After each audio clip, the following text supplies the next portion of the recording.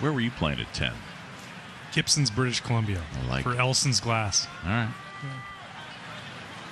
Here's Jay's second season as a skipper. Took over at the start of last year. Of course, it was Andy Green for four years.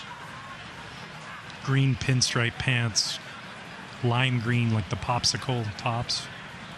That's what you guys were rocking. That's what we were rocking. Ooh, yeah. When I saw those unis, that right there, it looked good. It looked like super values. They were the old grocery store in our hometown. My first little league team, they were the teams were named after sort of landmarks and things from the neighborhood. And one of the modes of transportation in the neighborhood was the minibus.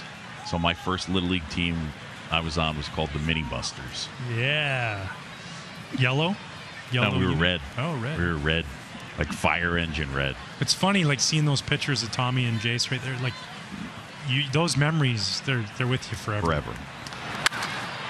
That ball is drilled. Pederson puts a charge into that one. Way back, forget it, gone. Home run, Joc Pederson unloads on Yu, Darvish, and just like that, we're even. 1 1 for Pederson, his seventh of the year, as he takes Darvish deep. Go ahead, Mr. Mustache.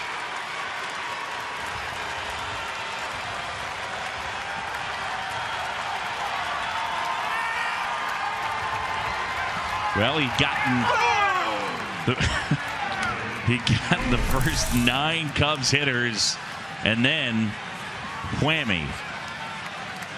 We talked about it. Make make him stay in the zone. He gets a breaking ball that just stays in the middle of the zone and absolutely hammers this right center field. Doing his best Fernando Tatis Jr. impersonation around third. You almost heard that a little bit from the fans. They didn't like that so much. Yep.